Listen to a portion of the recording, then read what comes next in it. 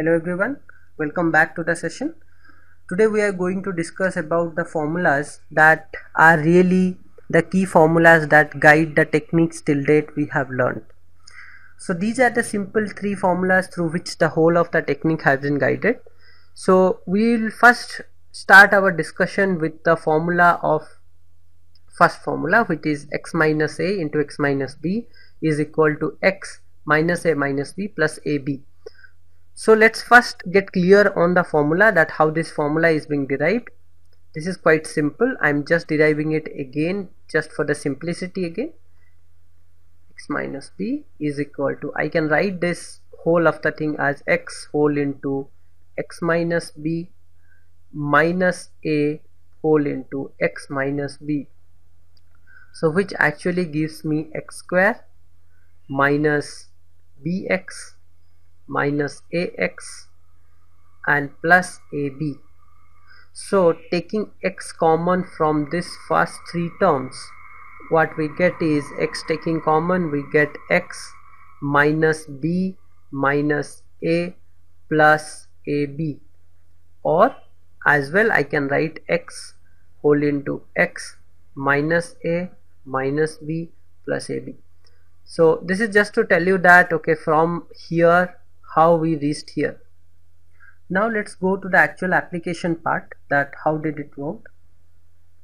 Let's start with an example of we are trying to multiply 92 and 97 so this is equal to 100 minus 8 and 97 is 100 minus 3 so if you look at our formula formula is like x minus a and this is x minus b. So here I can say x is equal to 100 a is equal to 8 and b is equal to 3 so our formula was x minus a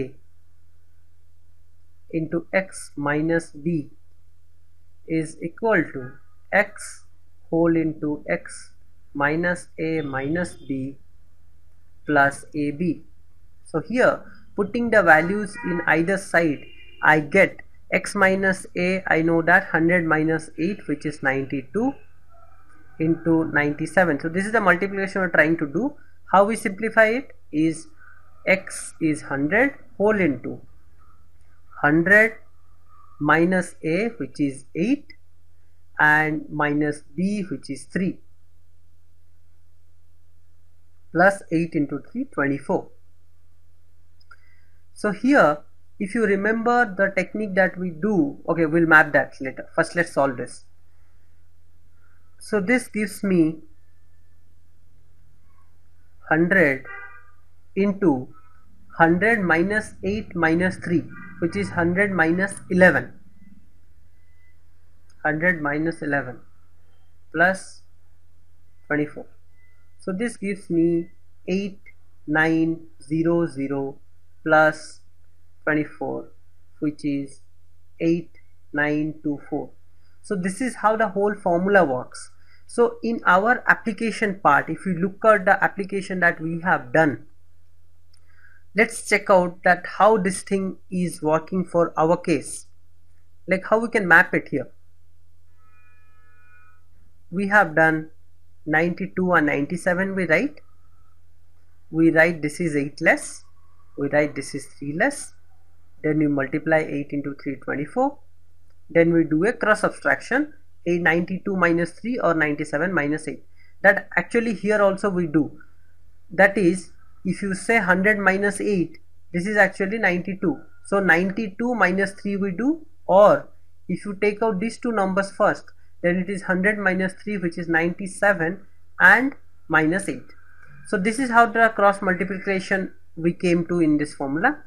Then 92 minus 3 or 97 minus 8 whatever you do you land at 89 so we write 8924 because here the base is always 100 we are taking and since we have put a 100 here we know that last two digits will be always two zeros.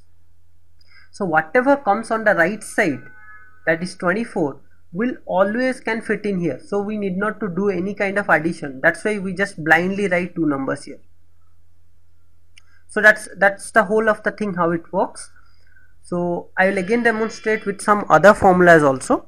Uh, like for the case of uh, uh, when one number is less than 100 and other number is more than 100 so we have done little bit of tweaking there while looking at the technique that we have used. So I will just describe with the help of this formula. That's why that tweaking is required. So that I'll be covering in the next lecture